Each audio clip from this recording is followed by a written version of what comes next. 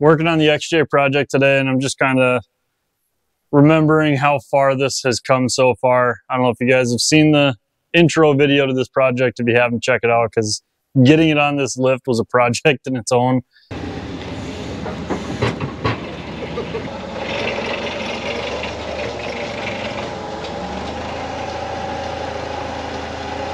But this fuel tank was sitting on the pallet. So the full weight of the XJ was on the fuel tank and the oil pan. Oil pan's jacked up.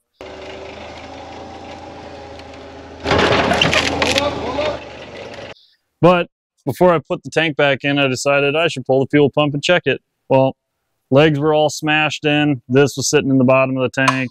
The screen that goes on the bottom of this was just floating around in there. So ended up putting a new fuel pump in it just so we don't have to worry about it.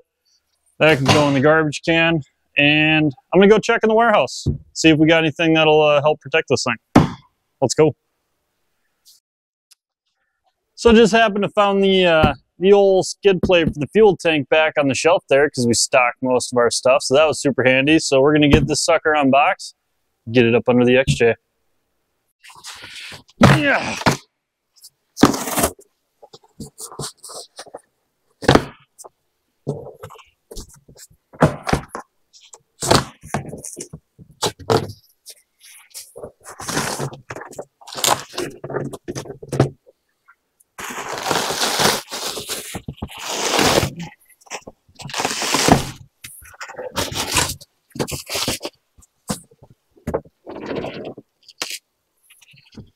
Little beefy.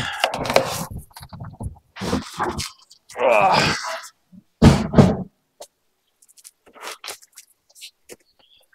That'll do her.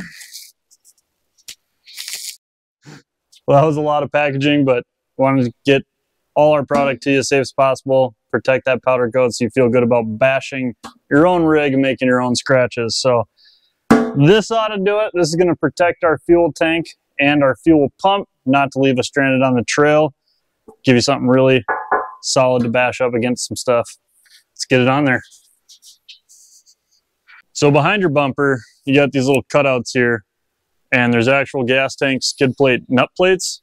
And we pulled ours out in chunks and we had to make a couple relief cuts to make room for it. But now we're ready. We got some brand new nut plates. Get those in there and ready to go.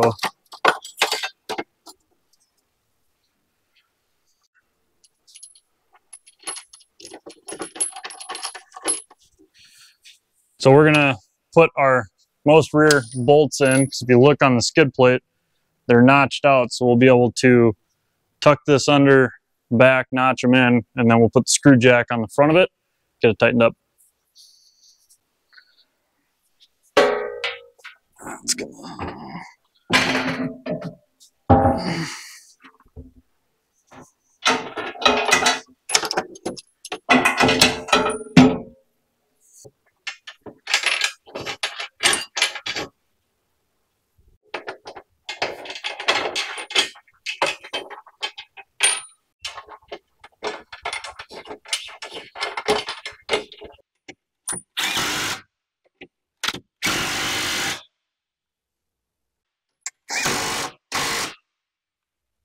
And there you have it.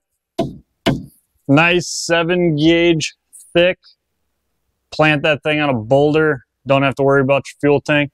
It's about a five minute install. You know, if you got your rear bumper off, you got your nut plates cut out, you got everything already painted. It can be a beast. Take your time with it, getting all the prep work done, get your final product, nice fresh powder coat on there, get it installed, get it on the trail. So this was a quick, easy install because we've got everything kind of already torn apart on it. If you're doing this on the ground at your house, you know, you got to get your rear bumper off. If you've got a trailer hitch, that'll have to come off to get access to your factory skid plate. Um, so we may have to pop a couple of these bolts off when we go to mount our rear bumper on, but we got new nut plates, we got new hardware. Should be a pretty simple, easy swap out, get that bumper installed on there. Um, so once you get your skid on there, if you got the trailer hitch, get that reinstalled.